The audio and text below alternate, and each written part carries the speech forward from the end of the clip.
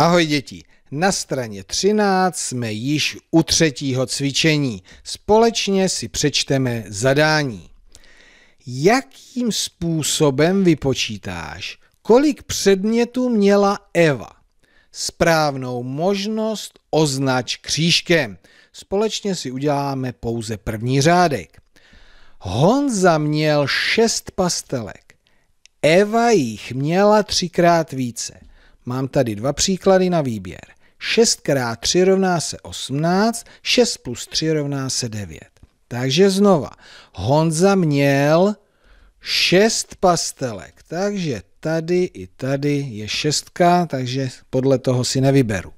Eva jich měla třikrát více, takže slyším krát více, takže násobení je tady, třikrát více, násobení třemi, šestkrát tři rovná se osmnáct. Takže Eva měla osmnáct čeho? Pastelek. Takže vybírám tuto možnost. No a další dva řádky vyřešíte samostatně. Prosím, přerušte si video.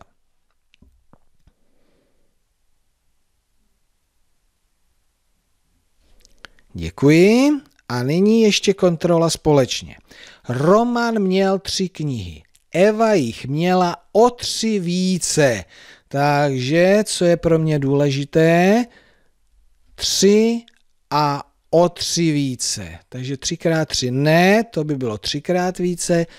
3 plus 3, 3 a o 3 více. 3 plus 3 rovná se 6. Vybírám tuto možnost. Takže Eva má šest knih. David měl čtyři sešity, Eva jich měla třikrát více.